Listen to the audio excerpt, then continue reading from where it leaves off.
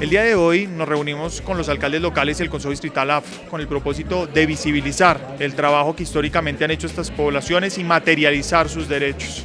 Desde la Secretaría de Gobierno con la nueva institucionalidad, con la Subsecretaría de Gobernabilidad y Garantía de Derechos, con la Dirección de Derechos Humanos y con la Subdirección de Etnias, tendremos un equipo exclusivamente dedicado a garantizar los derechos humanos en la ciudad y especialmente con un enfoque diferencial para esta población. Creo que la jornada va a ser muy fructífera y los acuerdos van a ser bastante provechosos para las comunidades. Vamos a lograr también un posicionamiento muy fuerte y efectivo de los temas étnicos en la agenda del distrito como tal de la institucionalidad. Es importante que los alcaldes de todas las localidades sepan que hay unos consejos institucionalizados que son los que dan la pauta y la ruta para toda la comunidad negra dentro de sus territorios. Esta población se haga partícipe de los recursos de inversión local y lógicamente también sean reconocidas en todo lo que corresponde al desarrollo mismo de las políticas distritales en materia de reconocimiento de derechos como tal. Para mirar efectivamente cómo empezamos a trabajar desde los diferentes sectores, desde salud, desde cultura, desde educación. De esta forma se puede articular y hacer un trabajo en equipo